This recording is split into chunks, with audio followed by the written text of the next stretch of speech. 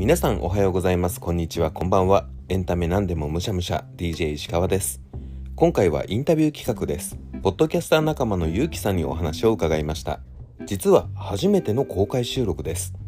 ポッドキャスターが集まるオンライン上のコミュニティでお話をしています。いつもと違う雰囲気をお楽しみください。それでは早速お聞きください。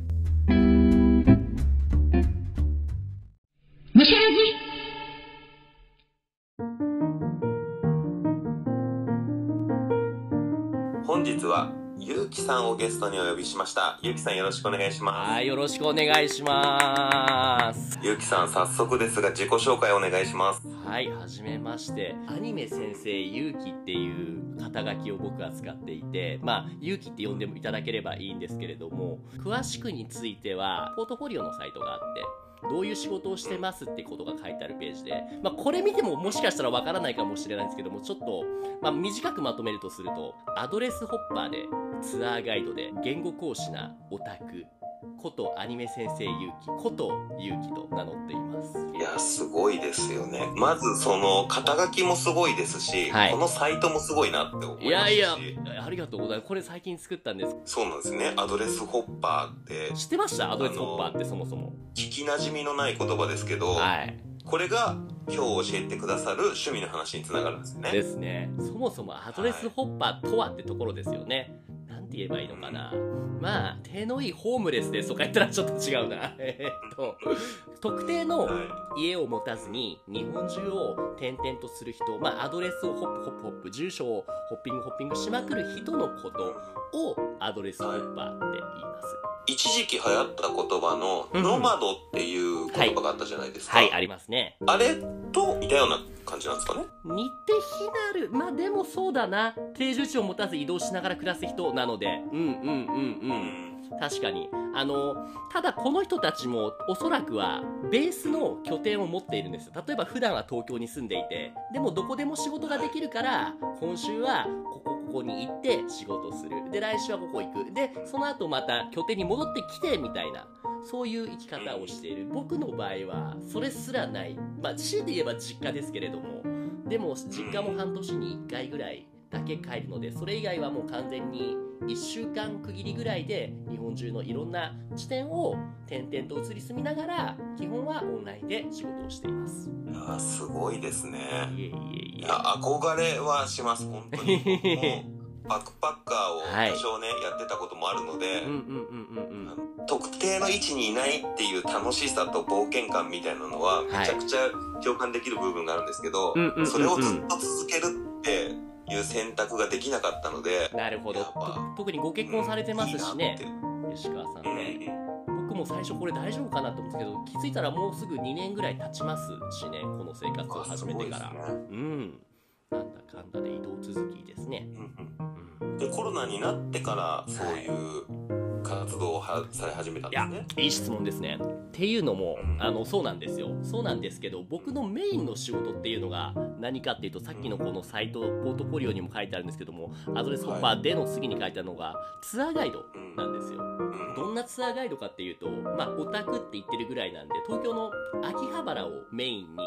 海外から来るオタクの人たちを英語で案内するっていうツアーガイドをやってた人で僕自身アニメが大好きなオタクなので、海外のオタクをガイドするっていうオタクツアーガイドですね。っていうことをなるほど、そうね。だからコロナが来る前はずっと個人でそれやっててちゃんとお客さんもしっかり来てたんですけれどももうそれがほぼゼロになるわけですよねコロナが始まってね。どうしようどうしようって思っていた時にオンラインでツアーガイドをするっていうオンライン体験っていうそういうサービスが始まってあそれ僕もできるなと思って始めたんですね。なるほど。あじゃあ海外の方に秋葉原とかを案内するっていうところは変わらずで、はい。それがリアルじゃなくなったっていうんでそうです。続けられてるんですね。リアルではなくてもうどこにいても参加できる。で僕自身も秋葉にいなくてもできるようになったんですよ。それはストリートビューとかでごはい。案内するんですか、それもできますけど僕が基本的に案内している内容っていうのは秋葉の文化とかアニメの文化を話してで一番大きいのは日本のオタクとして僕と雑談をするっていうところのコンテンツに一番需要があると思ってます。なるほど。要はこれ結構よくあアニメ好きですか？もしかして石川さんも。僕もオタクですよ。そう。僕のメインのそのツアーガイドのお客様、えっと、今言ったようなね、海外のアニメ、あ、日本のアニメとかそういう聖地巡りとかをしたい人を案内していたんです。でもこれがオンラインに変わって、それでも需要はあるんですよ。で、僕自身と話すとこに需要がある。何かっていうと、僕いつもこれ言ってる表現なんですけど、日本のオタクっていうのは、ブラジルのサッカー選手と同義なんですよね。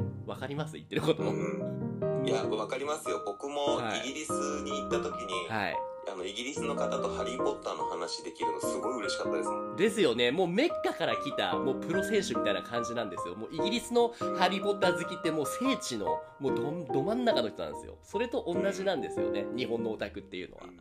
それが英語を話して案内できるってなったらそれだけで需要があるんですよね。学園ものの学校の話ってどこまでが実際にあるのみたいなこととか多分聞きたいですもんねね部活って本当にまみんな入んなくちゃいけないのとか、みんなああいう制服着てんの、ジャージ着てんのとかね。なんか先輩ってどういう意味とか聞かれたことあります？なんか先輩とか後輩とか、局だけ少年とか少女とか、異世界とか、うん変態って本当に変態なのとかなんかよくわかんね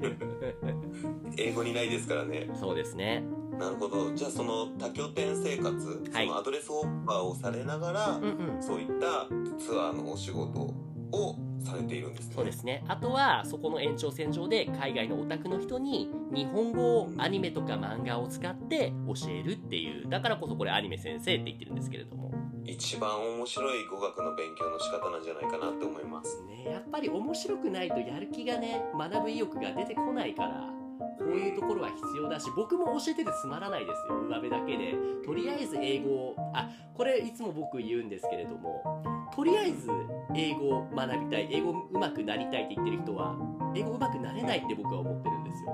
どういうことかっていうと、まあ目的が曖昧すぎるんですよね。ではなくて、例えば僕の場合、僕の話をしてもいいですか？はいありがとうございます。あの、僕はもともとカナダのバンクーバーに留学をしていたんですけれども、うんそこで、最初、どうしても僕のやりたかったことっていうのが一つあって、それがまあもちろんオタク、アニメも好きなんですけど、ゲームも好きなんですね。で、モンハン、モンスターハンターってあるじゃないですか。はいあれが大好きですごいやり込んでたんですけれども、やっぱあれって一人ではどうしてもうまくプレイできないものですよね。うん友達と協力プレイするとかね。協力プレイねそうそうそうそうそう。で、向こうでも同じようにやろうと思ったんですけれども、本来だったらうまくコミュニケーション取れさえすれば簡単に倒せるモンスターが倒せなかったんですよね。そこで悔しいなと思って、もっとうまくモンハンができるようになりたいと思って、モンスターの名前、アイテムの名前、こういう時、今その足引きずってるよとか、ここで粉塵使ってとか、ちょっとここで戻り玉使ってみたいなのを言えるようにそこだけ特化して学んだんですよ。で、結果、それでコミュニケーション取るようになったと。うん。それはもう目的はっきりしてますもんねそうそうそうそうそう。それと比べてとりあえず英語上手くなりたいって人は申し訳ないけど、英語上手くなれないと僕は思うんですよね。確かに恋愛とかもよく英語を勉強するのにというかあ。の海外の方と付き合うと学ぶっていうのはやっぱりその恋人とコミュニケーション取りたいっていう明確な目的があるからって意味ですもんねですよね、ですよね。お仕事でありつつそはいれがもう趣味みたいな感じになっている、仕事が趣味ぐらいな感じそうですね。楽しみ方されてるってことですかねはい。でもあれですよね、ムシャラジさんとしては趣味の紹介をする番組でしたよね、これはね。そうですねなので、あえてフォーカスするとすると、なんで、だったら別にこのオンラインの仕事わざわざ旅しなくても家でもできるじゃんってところになるじゃないですか。うんわざわざでもこれをしているのはなんでみたいなところの話をすればいいですかね。うんぜひお願いします僕自身さっき話したようにツアーガイドというお話をしたじゃないですか。はい。うん、でもともとは秋葉の東日本の東京の秋葉っていうすごい限られたところしか案内できなかったんですよ。でもこれってやっぱり日本に来る人ってそこだけじゃなくていろんな北海北は北海道南は沖縄いろいろ行くわけじゃないですか。はい。で僕自身それを知らないっていうのはすごいなんかツアーガイドとしてどうなのかなと思ったのでうん自分自身がその足を運ぶことで日本中の面白い人面白い場所美味しい食べ物とかをし知っておきたいなと思って始めたのがきっかけだったんですあよ。ーなるほど。やっぱりご自身で経験してないものって本当に魅力伝えられないですもんね。いや本当そうだと思いますよ。そのあたかもねこれすごいって聞いたよって言われるとそれでもうあっという間になんというか信頼できないというかね、うん、はい。アマゾンとかでもその買い物のレビューとかで買ってない人がこのゲームつまんないとか言っても信用できないじゃないですか。特にね、うん。その旅というか旅行で行くところって地図とかストリートビューで知った気にはなれるんですけどやっぱり実際に行ってみると全然違いますもんね。いやほんと全然違いますね。そうなんですよ。それを味わうのが今のこのアドレスホッパーとして旅人多拠点生活をすることの楽しさ醍醐味の一つかなって思ってますね。しかもそれは仕事に還元できるわけですもんね。いやほんとそうなんですよ。行けば行くほどいろんなところの引き出しが増えるしで他方僕は世界中の人に対してこのツアーガイドをしているので僕が他の国に行った時にも大体つながりは残っているんですよね。確かに。お客さんどっか行った時に過去に教えた方とか案内した方に面白いスポットを教えていただいたりとか、うん。美味しいところを教えていただいたりができるわけですね。まさにですね。そのちょっとしたプチ自慢になっちゃうんですけれども前に案内したクロアチアのツアーのお客さんがいたんですね。うん。で彼がその自分の国に帰ってから僕に連絡来て何言ったかっていうとすごい楽しかった。でお礼をしたいからいつでも好きな時にうちに遊びに来てくれって言われてえでもとは言はい。っても結構遠いしお金もかかるからって言おうとしたらチケット代全部出してあげるからって言われて。ええそうなんですよ。でチケット代とその全部移動費と食費と全部持ってくれて。で結局ヨーロッパに3週間ぐらい行ったんですけどもちょっとしたお土産代とかなんだらで34万ぐらいしか使ってないんですよ。すごいっすね。ヨーロッパってお金かかりますもんね。ねえそう。そういうつながりもできるなって思ってやればやるほどにいろんな人とのつながりが増えるっていうのは多拠点生活の魅力でもありそして翻ってこのポッドキャストの魅力でもあるんじゃないかなって僕は僕自身もそう思うしゆきさんはいろんなことを案内できるし、うんうん。逆にいろんな人に教えてもらえるっていそうところがあると思うんですけれども、多拠点生活をされていく上で、うん次の目標だったりとかはい。夢はいってあるんですか？えーっとそれで言うとですね今僕がこの旅をしてる理由っていうのはさっき話したように海外から来る人特にオタクの人に対して日本のいろんな地域を還元できるように僕が架け橋になりたいと思っていてそういう意味では少なくとも早いうちに都道府県全部制覇してでそれぞれの県にいる面白い人場所食べ物みたいなもののデータベースをどんどんどんどん組み上げていきたいなって思っていてでこれが、ねはい。でき次第できる途中でもいいんですけれども海外からこれからコロナも明けてね来る人も増えてくると思うんですよ人たちにうんそのシェアできるように。でそのためにコミュニティを作っていてそれがディスコードで作ってるコミュニティなんですよ。この今ポッドキャスターが集まっているコミュニティとはまた別でゆきさんが作られてるコミそうですそうですュニティってことですよね。そうですそうです。うん大体去年ぐらいからやっててそれが今2000人ぐらいメンバーがいるっていうところなんですね。おーすごい。すごいデータベースですね。うんこれがもっともっとね育っていってでそこにいる子たちも海外の若い子がメインなんですよね。10代とか20代とか。うん。そういう子たちって例えばアメリカとかに目を向けたらわざわざアメリカ人の子が日本語を学ぶメリットって普通の常識的な意見観から全然ほとんどメリットないんですよそうですね。逆はだって僕らがね。とかっていうケースが少なそうですからね。でもそれでも学びたいってやっぱ日本の文化か強いてはアニメが大好きだからとかそうやって純粋な目キラキラさせてくる子を助けたいじゃないですか。手伝ってあげたいじゃないですか。いう子たちが将来日本に来た時のちょっとでも土壌固めができるといいなって思って。ゆきさんは、はい。今はコロナ禍っていうこともあって日本中を旅されているというか、回られている状況だと思うんですけど、はい。フィールドはもうコロナが明けたら地球規模になっていくんですか？もうねまさにもういい視点ですね。もうまさにそれ考えていて。とりあえずさっき話した都道府県全部制覇してある程度日本のことを、まあ、知りきるってのは無理だと思うんですけどもカバーしたら次はもうねもうちょっと物価の安そうな、まあ、国はどこでも構わない構わないことないですけれども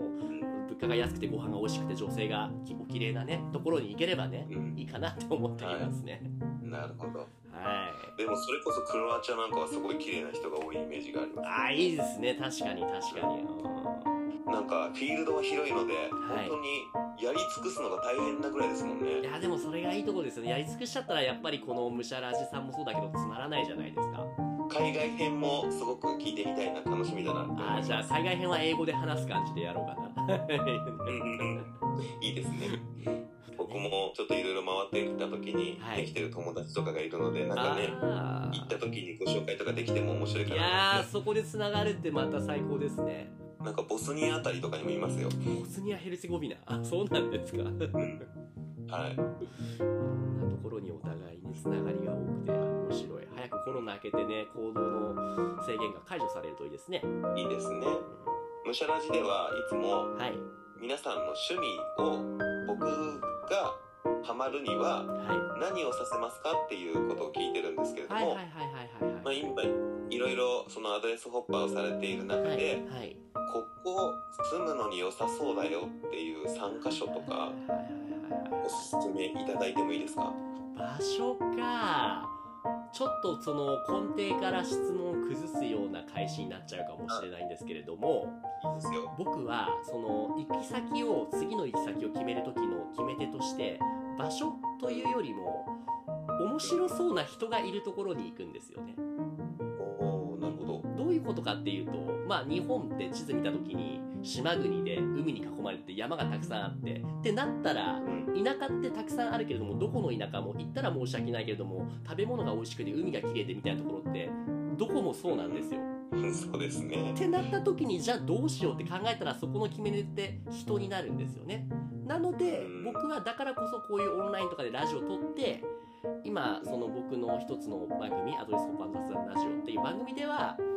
毎日毎日いろんな人にゲストに来てもらってそれこそまだ会ったことないような人ともねゲストに来てもらってもう160人ぐらいゲスト来たんですけれどもその人たちに会いに行くっていうのが一つのその決め手になってるんですね。ああいいですね。なので翻って今回こうのん。石川さんに対しても言えるのはもう今回うん。もう今までだけでももうね10人前後ぐらいのいろんな魅力的な趣味の話をしてくれた方が日本転々とされてるわけじゃないですかはい。その人たちに会いに行くための旅っていうのをテーマにするといいかなって思いますね。うんなるほうん。どなんか顔も見ずにお話ししてる方もうん何人かいるので、はい。ちょっとねお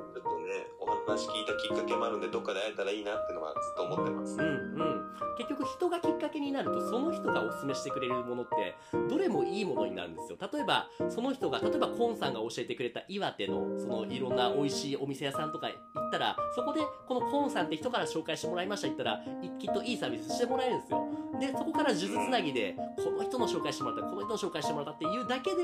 普通に観光行く人の何倍も楽しめるんですよね。そこの滞在が。ただ訪れるよりもストーリーが作り出されますからね。それでそれが思い出に残って自分のネタとしても話しやすいじゃないですか。ラジオでね。うんそれはいいですね。うん、だから面白すねのスポットではよりはその石川さんの中でこの人に会ってみたい会いに行ってみたい。ちょっと僕は日本中いるんで会えるかどうかわかんないんですけれども。まあでもそういうのを一つのその考える点にしてもらえるといいんじゃないかなって思って最後にむしゃラジオを聞いてくださってるリスナーに一言いただけますか？アドレスホッパーってね多分おそらくこれ聞いてる人のほとんどはなんじゃそりゃって思うと思われるんですけれどもまあ多拠点生活ですね。皆さんが思ってるほどにハードル高くないです。別にいきなり僕みたいに全く家捨ててやれとは言わないのでもし興味がある方はアドレス以外にも例えばハフっていうサービス HAFH っていうスペルでハフっていうサービスがあるんですけどそれはその1日単位でそのホテルであったりゲストハウスとかをその決め打ちで泊まれるみたいなそういうサービスがあるんですよ。それとかを使ってみてまずは週末からとかでも利用してみて他の土地で暮らすこと1日2日でもいいですけども1週間ぐらい住んでみるっていうことによるあこんな同じ日本でも全然暮らしが違うなってそこの新しい価値観を開いてみるっていうのはとってもおすすめですね。ぜひやってみてほしいです。ゆきさん今日はありがとうございました。そありがとうございました。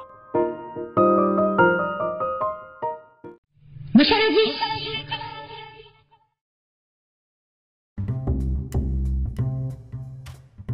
初めての公開収録だったので一部お聞き苦しいところがあったかもしれません。大変申し訳ございませんでした。多拠点生活アドレスホッパー憧れますねすぐにはなかなかできないんですけれどもいつかねそういう生活ができたらいいななんていうふうに思いますのでゆうきさんの活動を追いながら将来の参考にできればなと思いました皆さんもね、ぜひゆうきさんのポッドキャストも聞いてみてください。ゲストで石川が出た回もありますので、ぜひゆうきさんのポッドキャスト聞いてみてください。むしゃらじでは趣味の話をインタビューさせてくれる方を募集しています。今回のように直接会わなくてもリモートでも収録できるので、お気軽に DM ください。最後に、Spotify でお聞きの方は番組フォローお願いします。ベルのマークを押していただけると、更新された時に通知が行くので便利です。